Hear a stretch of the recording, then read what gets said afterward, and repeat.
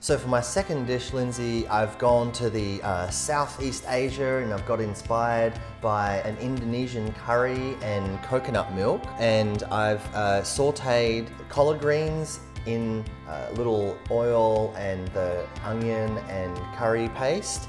And then I've added, well, some mirin and then the coconut milk just for about eight minutes. I, I, closed the lid and just allowed that to steam. So about 10 minutes all said and done for cooking that. So that's the greens part of it. With the grains, I've chosen quinoa and then I've taken the soaked uh, chickpeas or the canned chickpea. Uh, I've cooked them if they were just dry and then I soak them. Uh, if they're canned, I'll just drain them and they're already cooked, of course. And what I do is I roast them in the oven with a little bit of rosemary and sea salt. And so I'm combining that into the quinoa.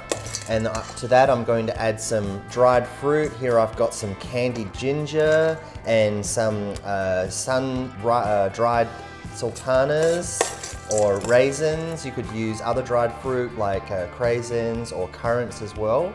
I'm gonna drizzle that with a little bit of olive oil. Once again, it's about a, a third of a cup portion uh, per serving. And then I'm going to plate that um, for each serving with the delicious roasted flavor, the sweet flavors of the, um, the dried fruit.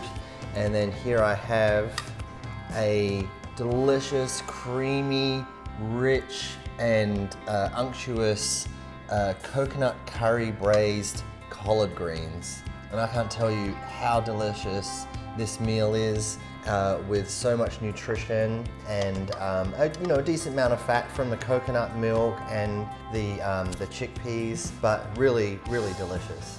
And I'm just gonna finish that to amp up the, the protein and the nutrition with some toasted sliced almonds.